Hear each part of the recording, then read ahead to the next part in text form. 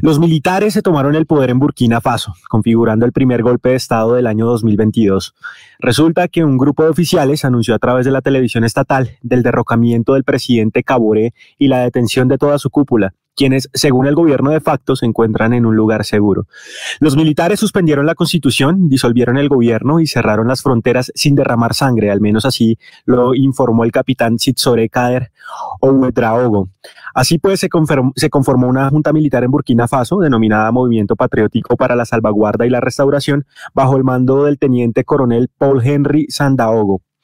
Conforme con los soldados, la degradación de la situación en materia de seguridad que amenaza a las bases de su nación y la incapacidad manifiesta del poder para unir a los burkineses y hacer frente a la situación los lleva a dar el golpe de Estado. Pero al parecer hay otra razón de fondo y es que el anterior gobierno no empleó una política seria y sistemática en contra del yihadismo, que avanza a pasos raudos en Burkina Faso y ha causado la muerte de por lo menos 7.000 ciudadanos y el desplazamiento de 1.5 millones de personas. Y es que en el país africano operan varias células terroristas de Al-Qaeda y el Estado Islámico, y el sentimiento generalizado de la población es que el gobierno de Caboré ha permitido el avance de estos grupos, de manera que esta sublevación militar en particular, pese a ser rechazada por varios países africanos, cuenta con el respaldo de la mayoría de los burkineses. Lo cierto es que este golpe de Estado es el tercero que ocurre en África Occidental en menos de ocho meses, luego de los de Mali y Guinea, lo que según el diario El País de España podría reflejar de alguna manera un sentimiento antifrancés alimentado por la falta de resultados en la lucha contra el yihadismo que lidera Francia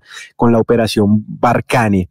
Y bueno, en otras noticias internacionales, Rusia dio inicio a una serie de ejercicios militares en el mar Báltico, en donde la Armada de ese país adelantará maniobras de defensa antiaérea y antisubmarina. Según la agencia estatal de noticias rusa Interfax, 20 buques de guerra, lanchas y embarcaciones de apoyo de la flota del Báltico zarparon de sus bases permanentes e ingresaron en las áreas designadas del mar Báltico para realizar diversas tareas como parte del entrenamiento. Por su parte, el presidente de los Estados Unidos, Joe Biden, comunicó que puso en alerta a 8.500 de sus soldados en caso de que Moscú definitivamente intente invadir Ucrania.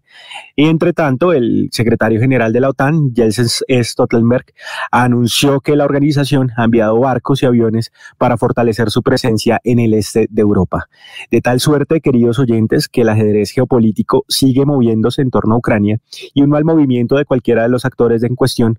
podría desatar un conflicto de carácter global.